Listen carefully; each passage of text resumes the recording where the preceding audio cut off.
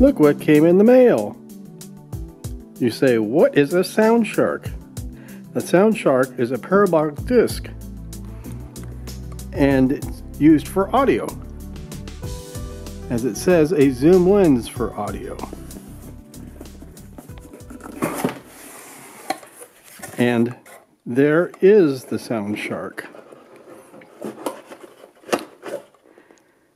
And now that we have it out of the box, let me show you what it is. It came with this nice fuzzy cover for wind protection.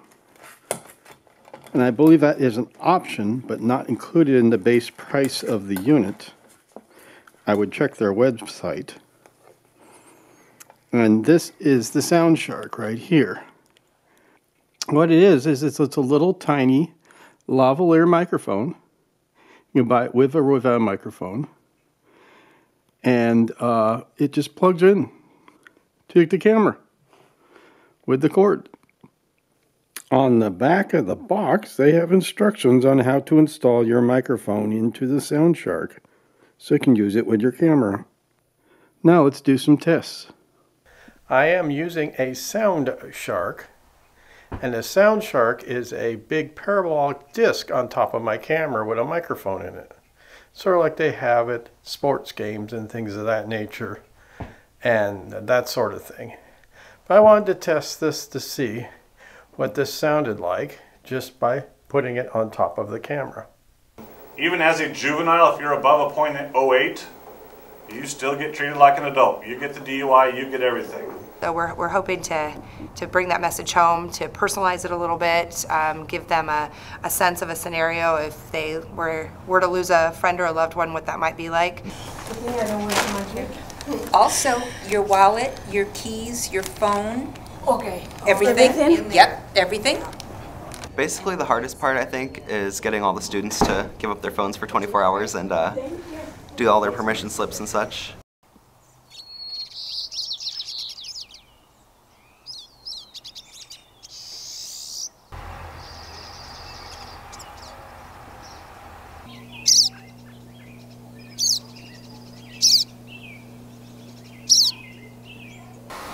I'm now using the Sound Shark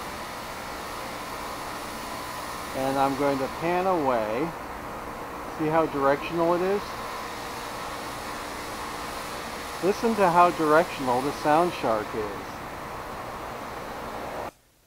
I'm about four feet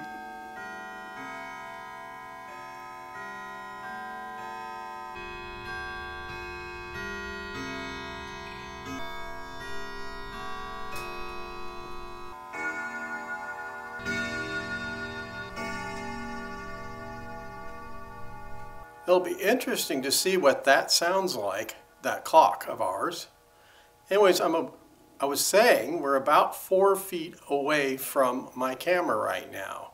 On top of the camera, I have a Sound Shark. I also have plugged into my Tascam DR70 a Rode VideoMic Pro and a Sony Short Shotgun. And I am testing the three of these to see what they sound like. I'm going to move back to probably about six feet. Now I'm talking from about six feet from the camera. And you can now see what it sounds like when I talk at six feet from the camera. And I'm going to move back even farther, probably to about, my guesstimate is about 10 feet from the camera. And right now I am talking at about 10 feet from the camera using the Sony the Rode, and the SoundShark microphones. Now I'm going to do some rejection tests.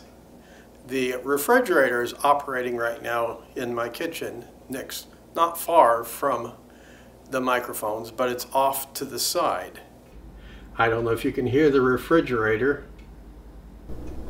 but uh, it is there. I can certainly hear it. And now what I'm going to do is walk around.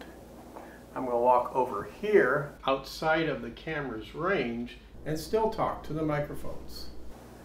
I'm going to walk to the other side and do the same thing.